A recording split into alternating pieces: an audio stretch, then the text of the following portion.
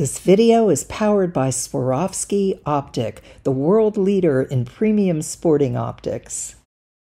The sparkling tailed woodstar, also known as the sparkling tailed hummingbird, is a very small hummingbird found in Mexico, Honduras, El Salvador, Guatemala, and Nicaragua. Its distinguishing feature is the white patch on each side of the rump of both the male and female.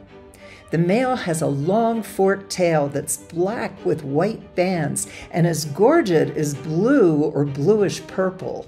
The females are cinnamon below and both have long straight black bills. These hummingbirds fly very slowly and their wing beats sound like insects.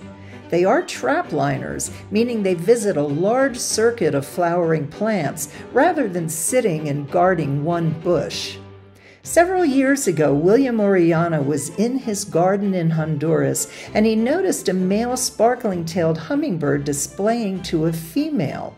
He took out his phone and captured the only existing video of this incredible performance.